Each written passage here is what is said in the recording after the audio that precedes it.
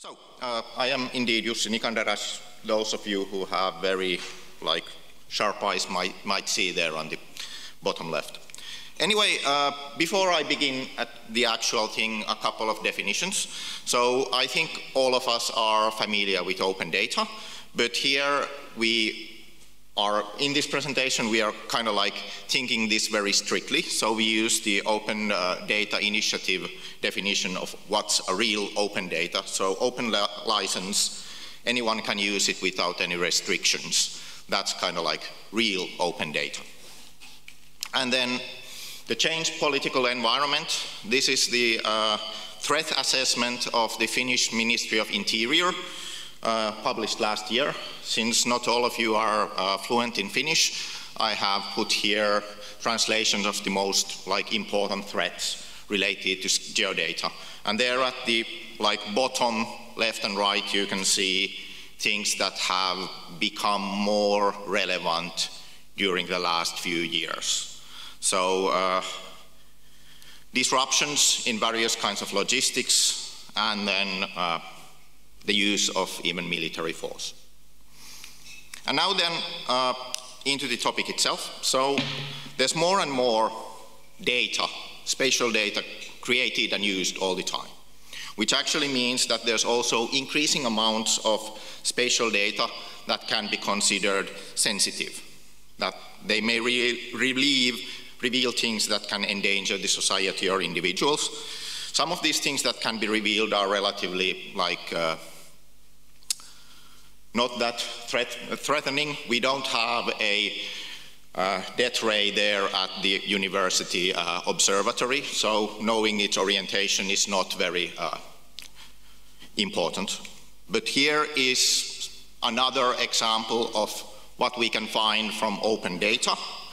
Here are the power lines and transformer stations from southern Finland. So, uh, up, wrong button. Over here is the Helsinki area, so the Finnish capital. This is all available from an open data set by the Finnish uh, government. This might be considered sensitive because disruptions of the electrical network can have widespread effects.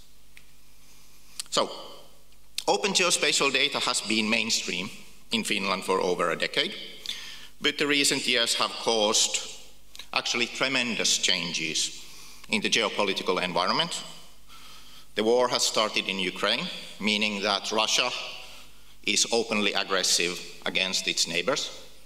And because of that, Finland joined NATO after decades of debate whether we should join the alliance or not.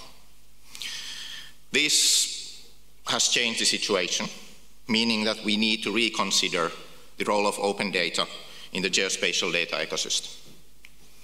Because of this, we made a research with two research questions. This was focused in fin uh, from a Finnish point of view, but we tried to find out what kinds of threats are related to open geospatial data and how these threats can be mitigated and managed. And our method was uh, a literature review, and then we uh, interviewed over 20 experts, mainly from the Finnish public sector, everybody was Finnish expert, but some of them were also from the private sector. We used semi-structured group interviews with three initial questions listed here. Then we analyzed the uh, interview results, created a synthesis of the answers, and then further refined this uh, synthesis with a panel of different experts, also all from Finland. And that's how we created the results here. And uh, when we think about what sort of threats are related to sensitive spatial data, then one way to categorize it is what sort of things can be threatened with the use, or this kind of like malicious use of uh, spatial data. Here are five different categories of things that malicious actors may uh, affect. The most important in our research were the first two, so critical infrastructure and important infrastructure.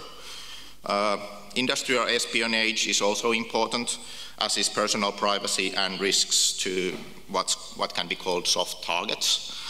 Personal privacy was uh, out of scope for this research mainly because personal privacy is something that has been taken like very seriously in Finland for the also in the open geospatial data uh, ecosystem. So we have relatively or very good best practices how to handle personal privacy. On the other hand, things like critical infrastructure or soft targets have not been given as much attention. And these critical and important infrastructure are those infrastructure that depict locations and information that are related to the maintaining of things that are essential for the society to function. Critical infrastructure are infrastructure that affect things on a national or regional level, and then important infrastructure uh, affect things on a local level. The this, uh, or the categorization is vague. So things are, some things are clearly critical infrastructure, some things are clearly important infrastructure, but a lot of stuff is there in between. If, for example, the uh, water infrastructure in the capital area is disrupted, is this critical?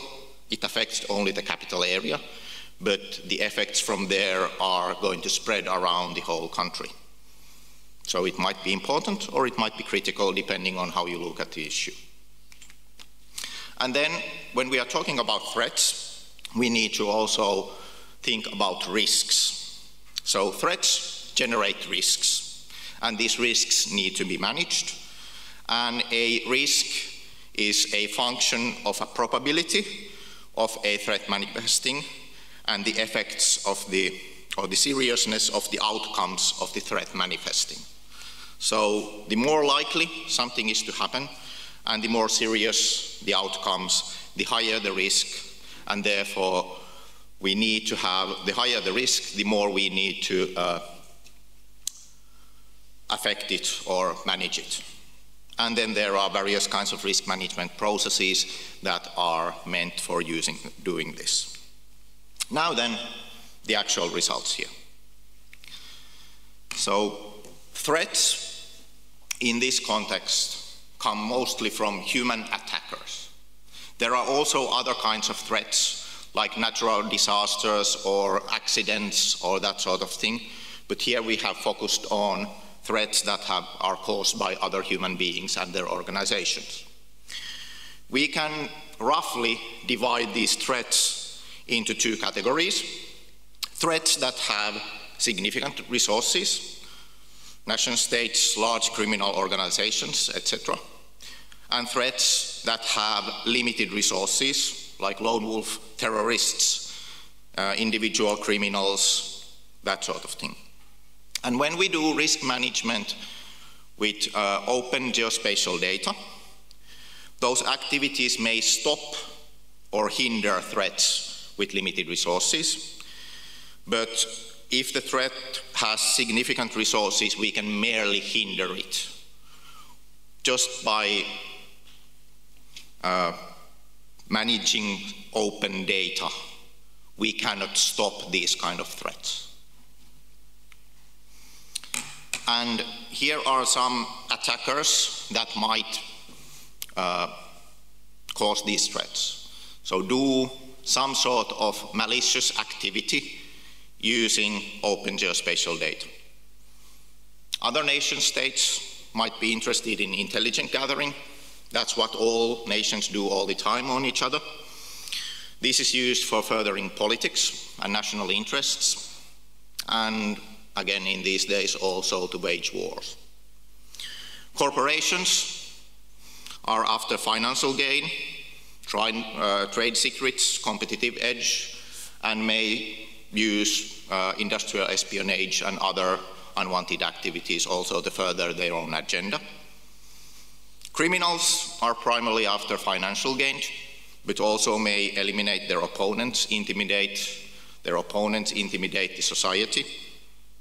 Terrorists typically want to create, create fear, uncertainty, and feeling of helplessness in order to further a cause and then different sort of activists are typically after media coverage, uh, fixing injustices and that sort of th things also typically to further some sort of cause. And if we understand these potential attackers, if we understand their goals, then we can better secure our data because we can only find weaknesses if we know what the data might be used for. And now then, how can spatial data uh, help these kind of malicious actors? There's always possible threats related to useful spatial data. We cannot escape this. If the data is useful, it can be misused. The usefulness of spatial data is very strongly based on data quality. So if we look at quality characteristics, things like completeness and logical consistency, accuracy and temporal quality, attribute data quality, all increase the usefulness of the data for various different purposes. And the more useful it is, the more potential threats might be related to it. A lot of open data is maintained by public sector and at least in Finland, public sector open data is required to be accurate and complete. And if it is created by the national government, as opposed to single municipalities, it also typically covers the whole country, which makes it very useful a lot of, for a lot of different purposes. However, compared to other data sets, this kind of public sector data may have a worse temporal quality because of these requirements for very good accurateness and completeness may make it uh, more laborious to produce. So for example, public sector datasets might be published less often than other comparable datasets that don't have this requirement to check that everything is accurate. And now then the risk management methods. So if we want to have open spatial data, meaning that the data is still available for use without strong restrictions. Then the most methods we have are related to monitoring or then limiting the data itself somehow. We can also limit the availability of the data, but in that case we are kind of like sliding away from open data because open data should be available for use for everybody. One way to do is to limit the quality of the open data. So for example, if we have building data, where we have in the initial data set, we have very uh, detailed uh, attribute information about the buildings. Then we generalize that attribute information for the open data set. That limits the quality, which may also limit the threats. We may uh, monitor the access to the data, or we may limit access to the data in different kinds of ways, requiring some sort of identification. The identification can be as simple as providing an email address or as strict as uh, having this kind of like strong identification used. Of course, if you have to use strong identification in order to access some data set, then we cannot say that it is open data anymore. We can also limit access to data sets geographically, saying that, okay, you cannot access these open data sets from Russia anymore. But these are very bad, that's a very bad way of trying to secure your data. It's very technically very simple to uh, avoid these kind of geographic limitations. However, what's extremely important here is that every time we somehow limit an open data set, then we also affect all beneficial and wanted use of that data. The more limited the access, the more limited the usefulness of the data set, the less additional value we get from publishing that particular dataset. because the better the quality of the data, the more use cases it can be used for. Also, all these limitations will primarily affect threats that have limited resources. Threats that have significant resources can be hindered.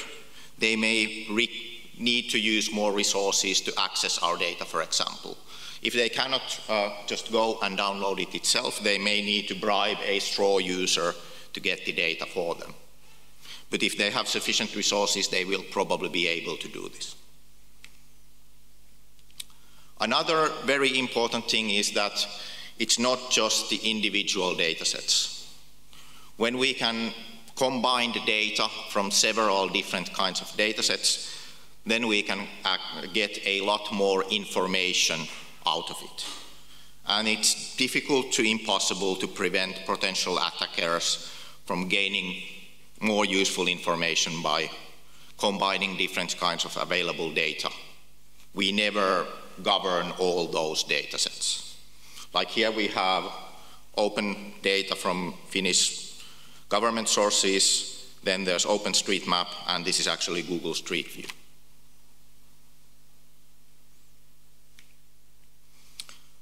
And these threats are a reality. Here are some examples. So uh, a bit over a year ago, a Russian ship spent quite a bit of time in the Baltic Sea near Finnish wind farms. It's near certainty that the reason this ship was there was to map the locations and uh, search for vulnerabilities in those wind farms. This is data that's not available as open data. So by not publishing this data, we actually forced the attacker, Russia in this case, to use more resources in order to gain the information. They had to send a ship there to map everything, and perhaps the ship did not find all the relevant information, but we were not able to prevent them from acquiring this information. If the attacker had limited resources, they didn't have access to these kind of ships, then we would have prevented them from gaining this information. Not all the threats are current also. So artificial intelligence is something that is quickly progressing at the moment, at least the different applications. So at least for me, it's currently really difficult to predict what can be accomplished by artificial intelligence in a couple of years. However, if we want to manage potential threats caused by use of AI with geodata, we need to do it now. So for example, this public data, public open data, it has high accuracy and it's very complete. So it might be valuable training data for different kind of AI. Is this something that we need to then take into account? I don't have a clear answer to that. Anyway, conclusions.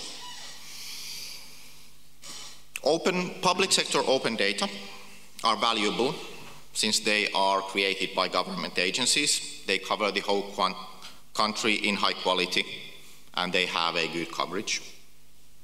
Combining data from several different sources can provide attackers significantly more information than single datasets. So if we try to manage the threats caused by open data that we have, then we need to also consider whether that data is available from other sources. Like that uh, Finnish uh, electrical network example, all that data is also available in OpenStreetMap. So even if we remove that data set from the government open data, it wouldn't increase our security, at least not in the short term. That data is already available in the wild. Which means that if we, need to if we want to protect open governmental data, we need to do it before publications. So we need to make measures that protect the data related to how it's published. For example, we may modify the open data to remove some information from there. But every time we do that, it's extremely important that we also check how this affects beneficial use cases. And what is needed is some sort of risk assessment procedure that can be used uh, several times regularly. We also need to take into account what happens if we do these risk man management things and we remove, for example, some data from open data sets. And we need to be aware of this data combination and how that is a significant threat. And that's all I had. So thank you for listening.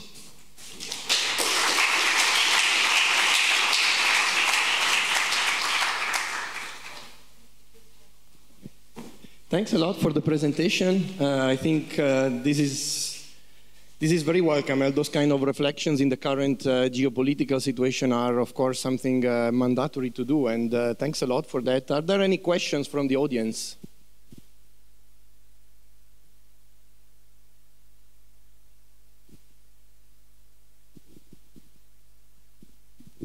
Hi, uh, my name is Emil Enström. I, am from Gispo. I was thinking, uh, since you speak of a Finnish context, that in the Finnish context, I feel like there's a lot of uh, that politicians can basically say, uh, "We do this for security measures," and then they can uh, try to get a law passed and, and so on. And do you feel that this is driven? Because I, I, I believe it might come from a fear uh, in the public that uh, there's a war and so on. Sorry, I have really hard time hearing the the echo here is really bad. Ah, um, uh, could you take the mic a bit away from your mouth? Maybe like that helps. Better? Okay, now it's better, thanks. Okay. Yeah, yeah uh, I was saying that uh, since uh, in Finland, in the Finnish context, mm. you can basically say, uh, politicians say, for security measures, we can make this law pass and so on. Mm. Uh, this is, is kind of what's going on right now. And then I was thinking that do you feel as a, an academic that we're making too like uh, fast decisions on this that we should be thinking more about how to actually go about, uh, especially regarding geospatial data, but also other security measures that we take right now in, in like the political sphere. I can only talk about open data here, really, but uh, open data is already available. That should be kind of like considered lost in the sense that potential attackers have it. So uh, if we have already published something like the electrical network data, then we don't need to like, or we don't get any benefit if we would just suddenly yank it away from the internet. But we can get a lot of like uh, unwanted side effects when beneficial use of that data is suddenly not possible. But on the long term, we really need to think about what we want to publish as open data because even if the like current electrical network is available, the electrical network slowly changes. So within five to 10 years, the uh, current uh, data sets start to be sufficiently out of date that using them for uh, planning, for example, wide-scale invasion, is no longer as uh, efficient as it is today but it is very dependent on what sort of data we are using. Like electrical network data changes relatively slowly on a national level. At least in Finland, we have a mature electrical network. Some other data sets might change significantly faster, where the kind of like the data quality then degrades uh, more quickly.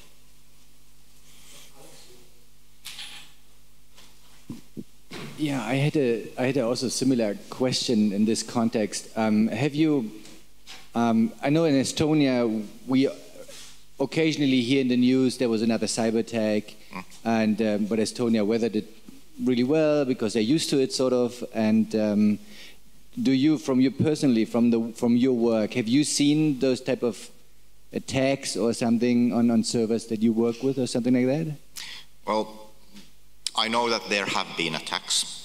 In the news re recently, there have been uh, like attempts and also successful attempts to introduce into or break into uh, water management systems, especially in southern Finland. So that sort of threats are clearly and presently there. And I also know some actual attacks, but uh, that have been like already happened, but I promised not to talk about the details. Any additional quick question? Quick question? Oh. We, we say it's the last one, and then please quick answer because yeah. we need to close. Yeah. No, but please, please do this. Okay. Uh, it's not a question, it's just a quick comment. I've been coming to FOSS4G for more than a decade. It's the first time I see a presentation like this. And I'm absolutely appalled. I'm not being judgmental at all. Hmm. And I would just like to thank you to bring up this discussion things here Because indeed, the world is very different from what it was. Thank you. You're welcome. And once more, if we do these kind of things, we need to be really careful how we manage the threats, because we can also make a lot of damage that way. Thanks again for the very interesting.